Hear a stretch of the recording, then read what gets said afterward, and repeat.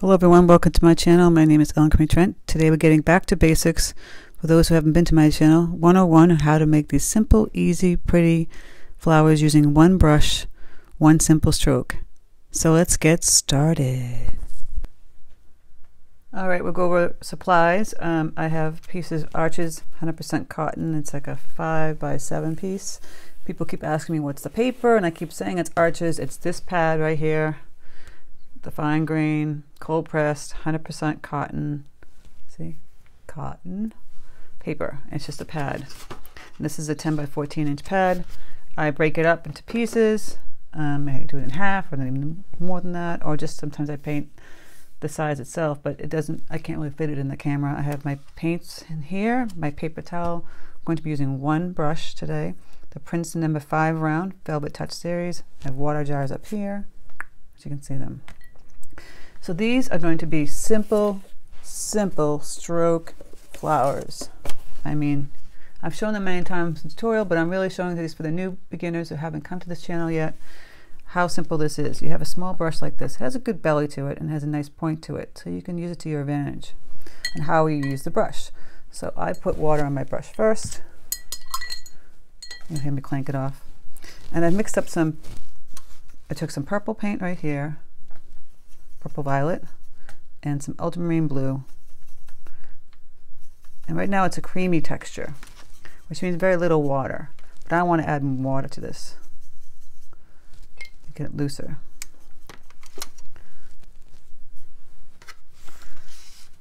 So, get some more water on this brush. We're going to do simple strokes. This particular flower it's just a simple back and forth stroke movement. So take your brush and you're going back and forth like so. There, back and forth.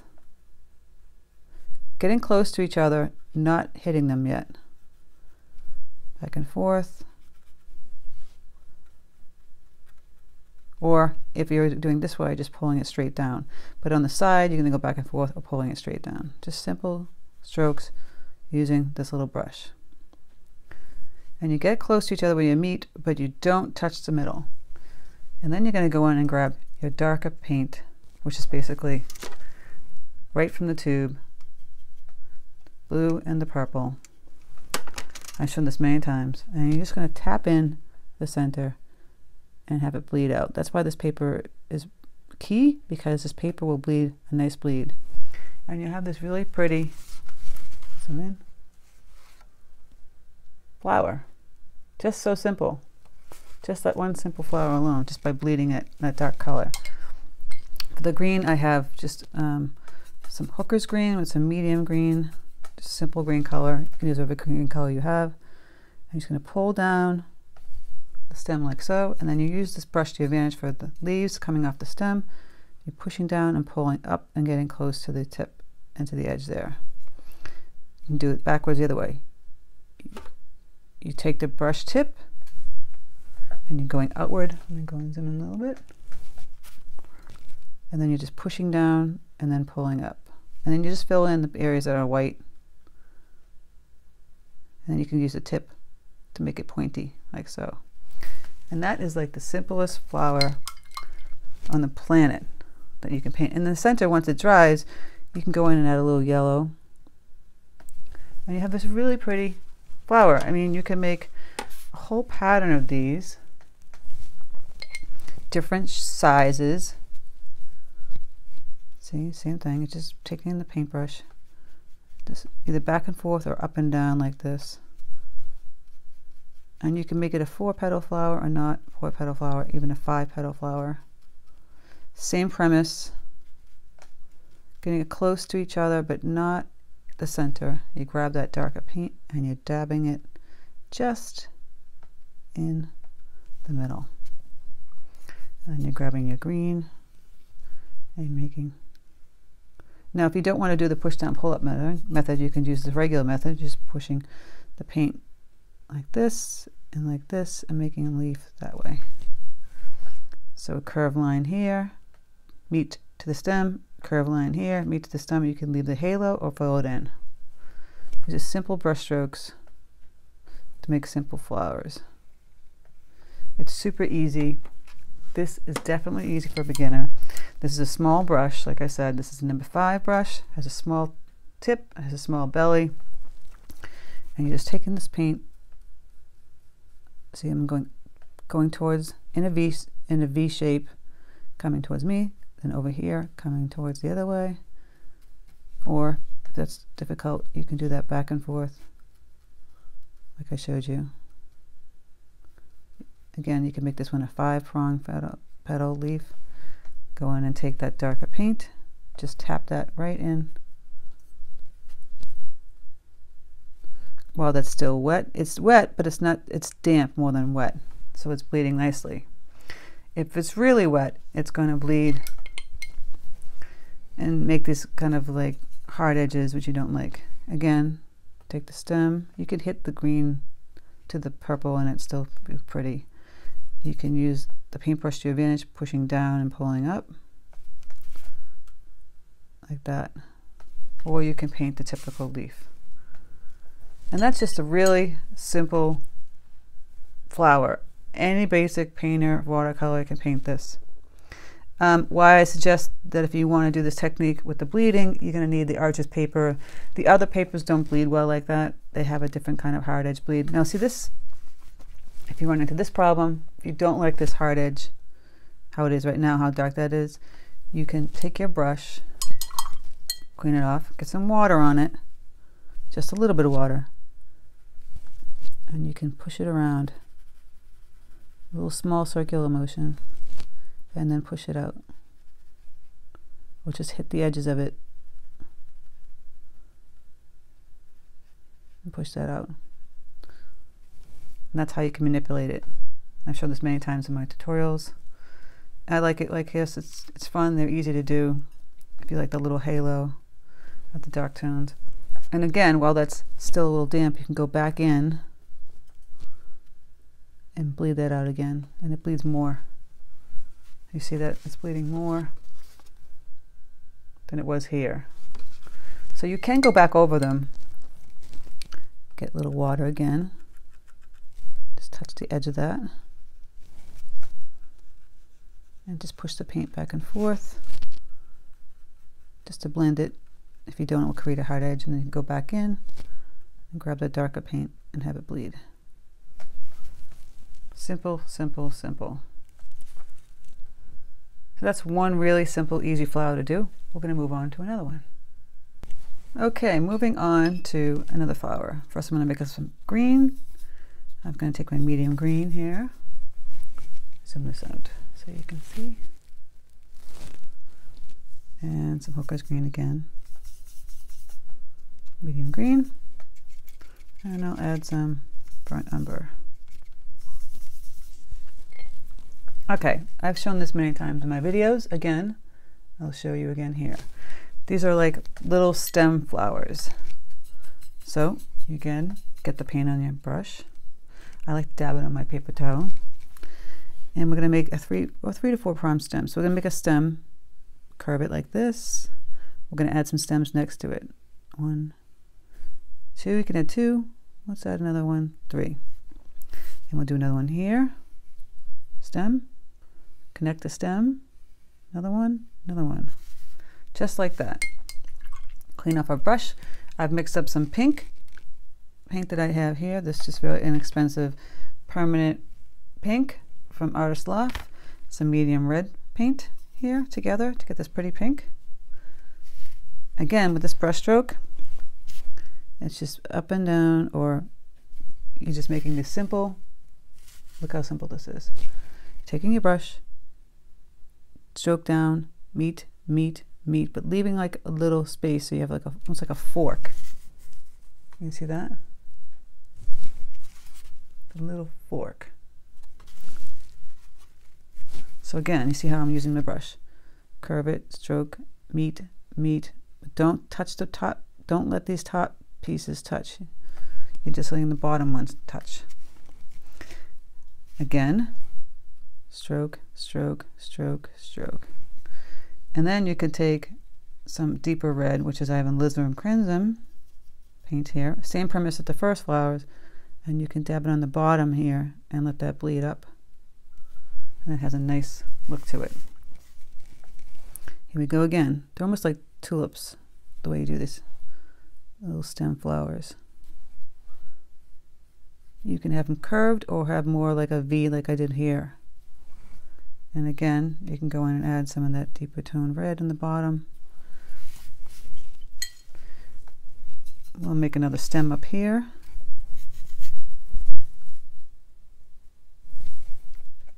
The stem up here. Little branches. Same flowers. Now we're going a little faster because we're getting used to it. And it'd be more looser. The faster you are, the looser you are. Now for the leaves, you're going to make small leaves using the brush to your advantage. Take the little brush, you can just push down like that and meet to the stem. Push down and meet to the stem. That is so simple. For a super beginner, that's all you're doing. You see, you're just pushing and touching the stem. But as you're touching the stem, you're pulling the, you're lifting up the brush. So you're pushing down, but lifting up the brush and touching the stem as you're going towards the stem. Down, lift, go towards the stem. That's how you push it. That's how you use the brush to your advantage. Get the used to it, you know, just it takes time. And once you get used to it, you can just whip in some little leaves pretty quickly. And you could do a bunch of these and that would be a pretty look. And then when you combine all the flowers together, you can make a bouquet. This is just really, I'm trying to get back to the basics for some people um, who think some of my tutorials might be too hard. Um, basically lines, see that? Just making these simple line branches like so. Doing a bunch of them. You go back in, you clean off your brush, you take your paint, and you're just making those simple little flowers. These are very simple and they're very cute. Any color tone you want. I just chose pink to change it to change it the colors that we were using before. Even make a mistake where it's a little blobby, like this one. If you don't want like a separation, that looks just as nice.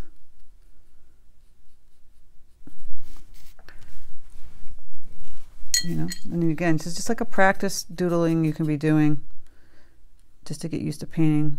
See, I'm just pushing that paintbrush as the little leaves. That's how it makes it loose, not so serious. Go back if that green gets too light, just go back on top of that. You can add in some deeper tone greens towards the stems.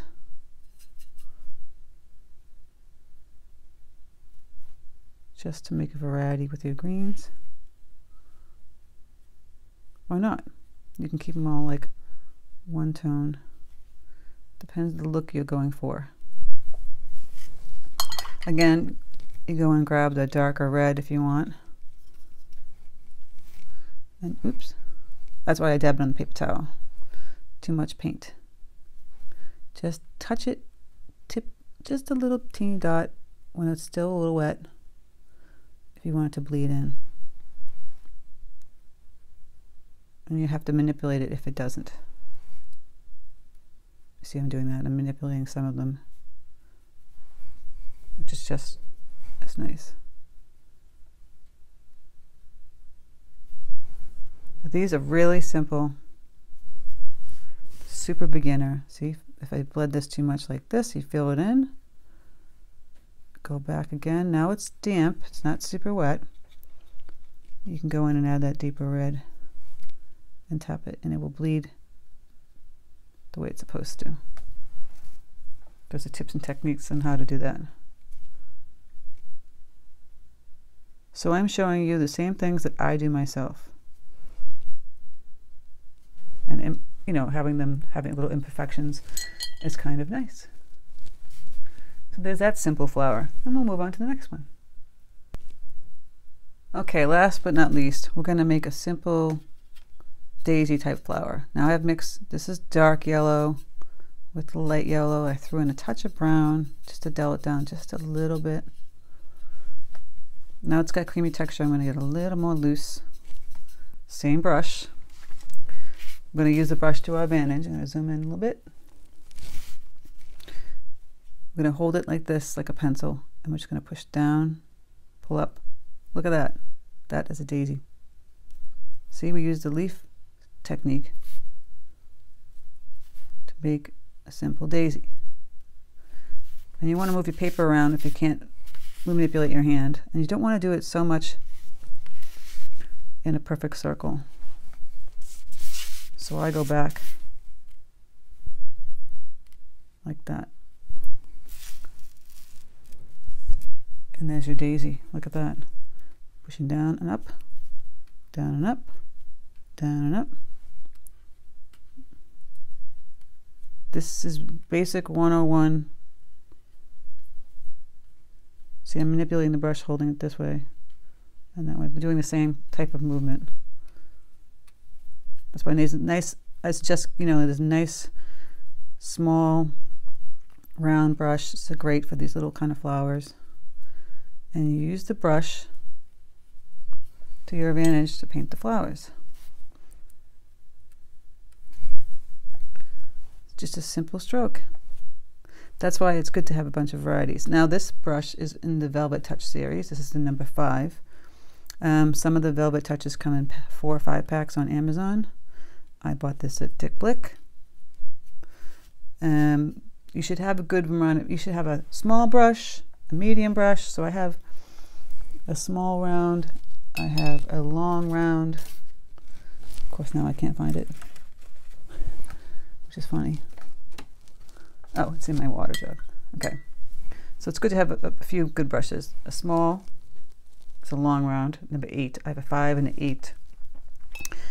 I have um, a fatter one, which is a Princeton Neptune eight. See the difference? The eights, these are the two eights. Oops, sorry, you're not seeing these. Let me zoom back out so you can see these. So this is a, a long round, long round, has a long tip. This is the round eight Neptune series. Also, you can find Neptune on Amazon. See, the belly is bigger and it's shorter on the top. It makes different strokes. That's what the brushes are important to have different varieties of brushes. And then we have even bigger ones. Like there's a Princeton Neptune number 12. See that huge belly to make big brush strokes for bigger flowers. But for these small little flowers, a small little brush, this one is fantastic. It's the Princeton number 5 round Velvet Touch series and you're just making the simple daisies not doing anything that's that nobody else that anybody else can't do you just you just put the paint on the brush and you're just putting it down pulling it up.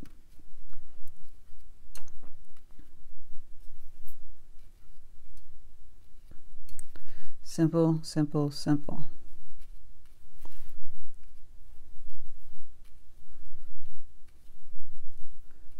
Now you can leave the center as white like a white daisy or you can put a black dot and so it's like a black-eyed Susan with the greenery.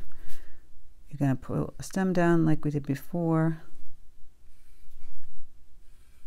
Just doing simple stems. Daisy leaves have that the little bumps that go like this but you don't have to do that. You can do a simple petal, simple leaf, which I might just do here, and take that one away. Don't make it difficult for yourself, just when you're starting out. The same premise for the leaves, pull down, pull up. Curve it to one side, curve it to the other side. See, I'm curving it and then curving it, curving it, curving it. If you can draw a leaf, you can paint it.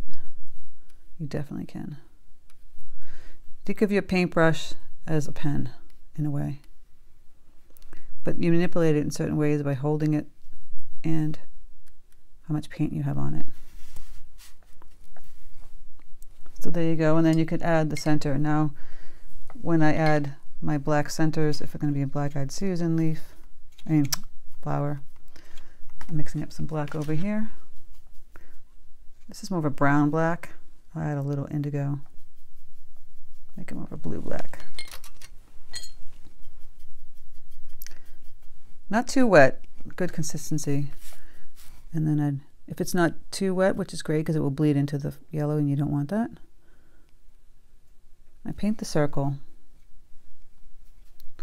But in many of my tutorials, I like to leave the halo, which means you're not going to paint all of it. And you have this nice little cute little halo.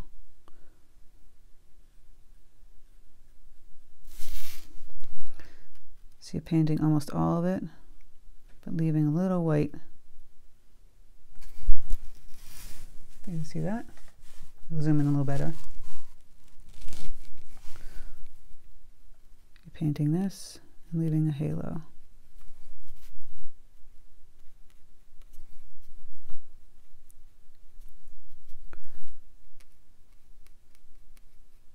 If you forgot to do that, leave the leave the white part. You can just use some white acrylic or white gouache paint and put a paint in a little halo with that, and that will just do the same thing. If you want to get fancy, even this is dry, you can add just a little darker tone of yellow.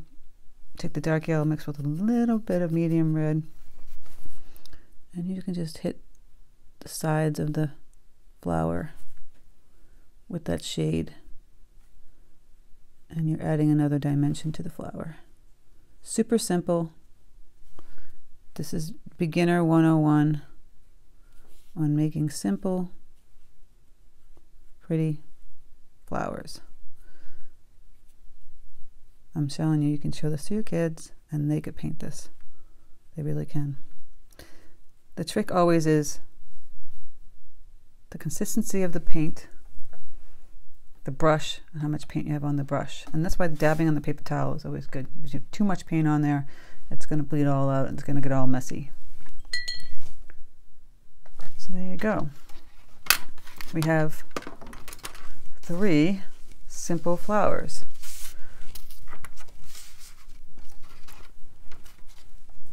And if you can combine those three, mix them up together, you have like a wildflower field, you know, or you can just put um, some over here on the bottom, some on here on the top, or just a few bouquet of the, of the different ones in the middle. And that's how you make the composition different and unique and play around with it. So I hope you guys enjoyed this tutorial. Um, and if you're new to the channel, thank you for coming and stopping by. I hope you have a great day and I hope you learned something today. Take care.